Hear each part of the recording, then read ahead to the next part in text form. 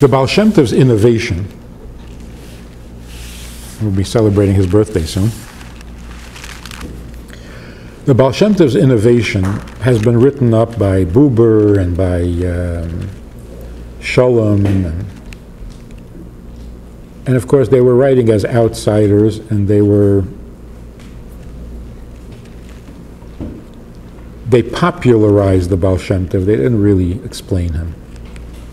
He championed the underdog. He uh, fought for the simple Jew. He found every Jew lovable. He is so sweet. That's not the Baal Shem Tov. First of all, the Baal Shem Tov was the scholar's scholar. He put everybody else to shame.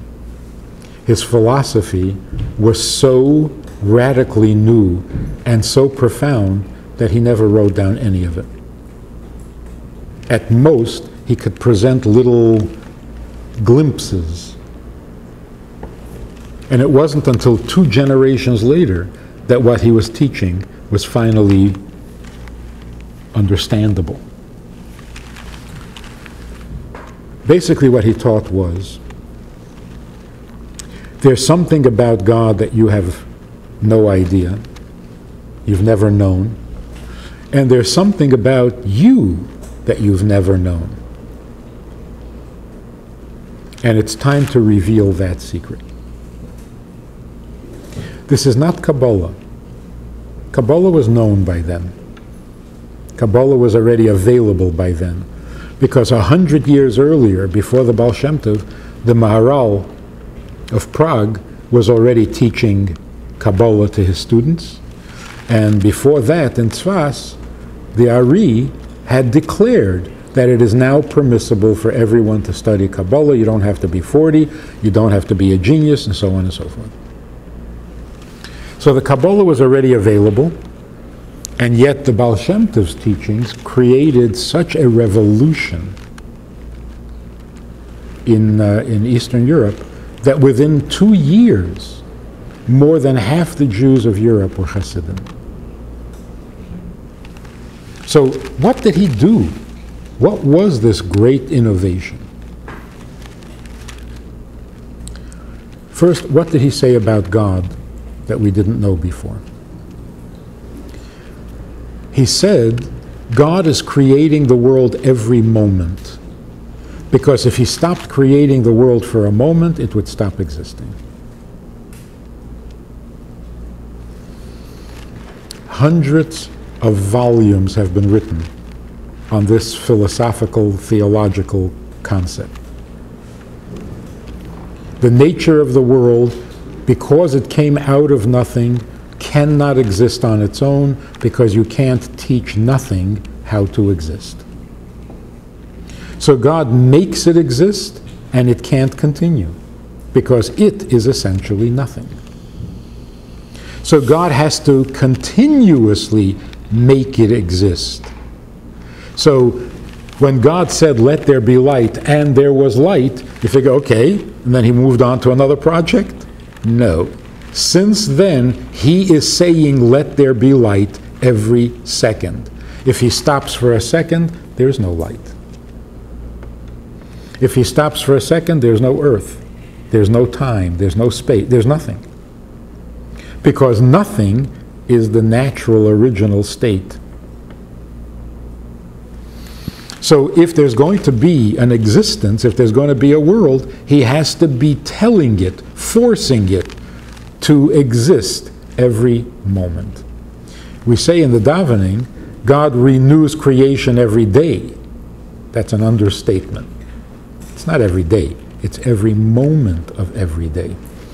It is more visible when the sun goes down and then it comes up again. That's a visible renewal. But essentially, the pen would not exist if God isn't telling it to exist. So God didn't create the world, He is creating the world. He is not a creator past, past tense, He is the creator present tense. Therefore, the Baal Shem Tov's conclusion was there is specific divine providence, hashgacha pratit, for every detail of every creature, of every moment, of every event. What's the connection? If God has to tell the pen to exist right now, then does he know what's happening to the pen? How can he not? So constant creation is almost the same as divine providence. If he's telling it to exist right now, then he's conscious of it, he's aware of it, he's making it what it is.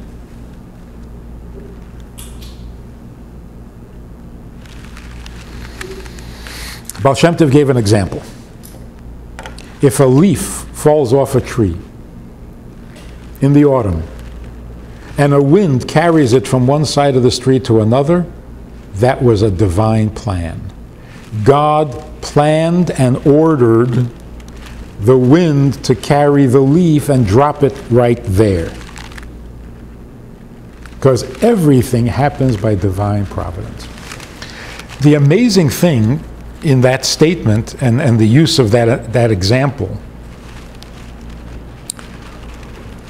is what the Baal Shem Tov was saying that, that the scholars of the day did not appreciate or understand. Of course, everybody believed in divine providence. Rambam speaks about it 800 years earlier, or 500 years earlier. What the Baal Shem Tov was saying is like this. If God, this moment, decided that he doesn't want this table to exist anymore, and it disappears, what would happen to this cup? It would fall. If God said, I want this table to miraculously reappear up on the top of the, uh, where would the cup be?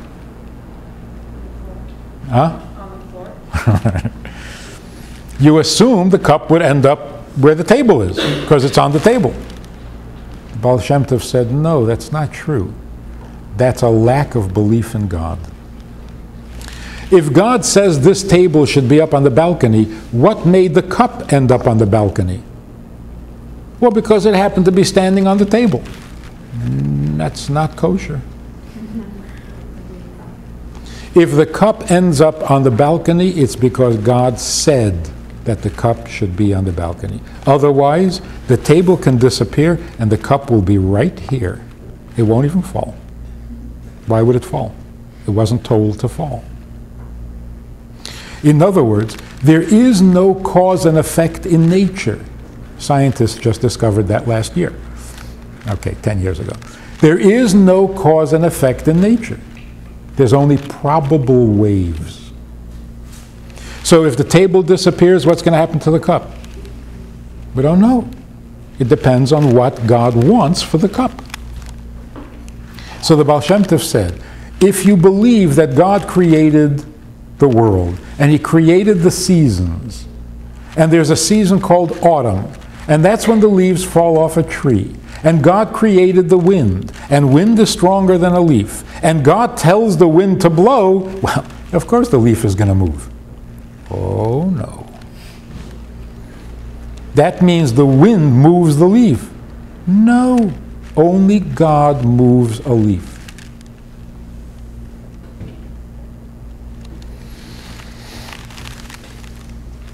This woman said, they were sitting and talking, and one of the women said, uh, Oh, I have a daughter back home. She's five years old.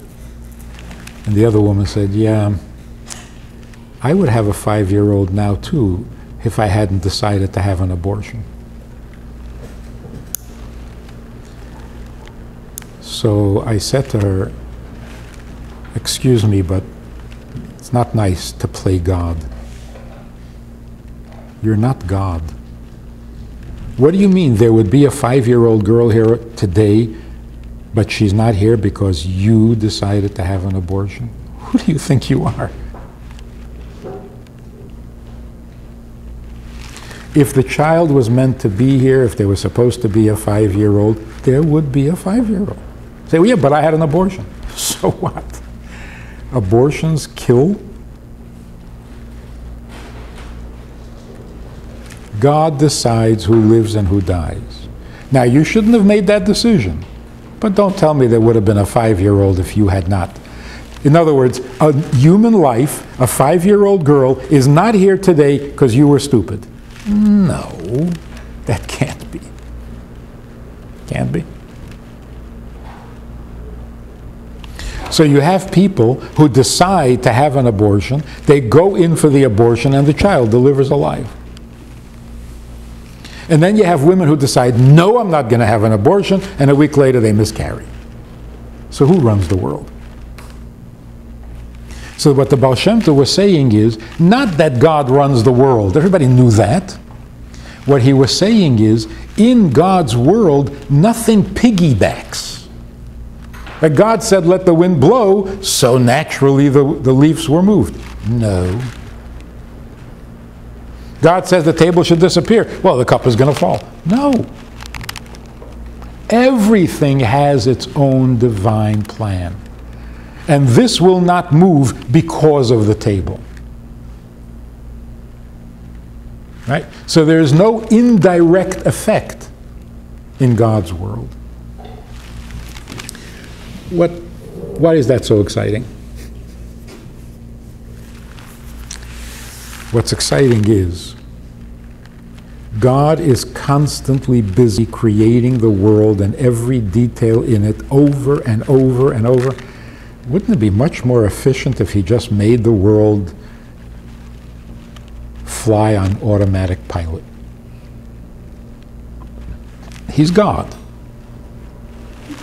He could have said, let the world be and hang around till I tell you otherwise. Why does he have to constantly create it? In other words, he created the world in such a way that it will constantly be dependent on him and he's going to constantly have to be creating it. Why did he do that?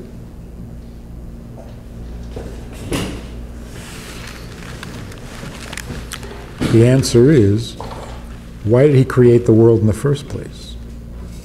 Because he wants to have a relationship with his world. In fact, he wants a relationship that takes all his time and all his devotion. Constantly.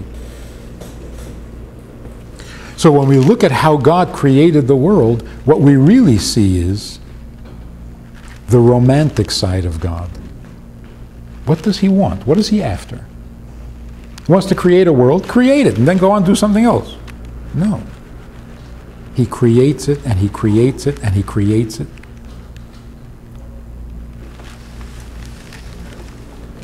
Because the purpose of creation is relationship.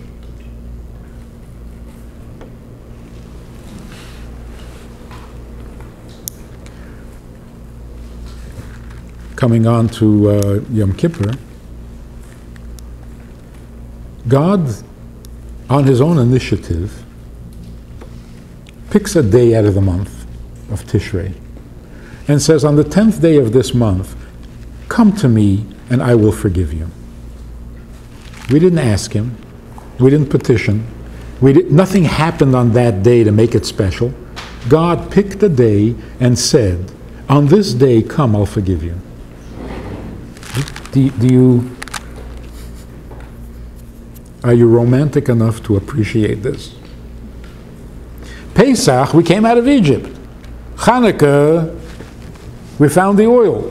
Purim, we ate a lot. What's Yom Kippur? God picks a day and says, Please come to me, I want to forgive you. He wants to forgive us more than we want to be forgiven.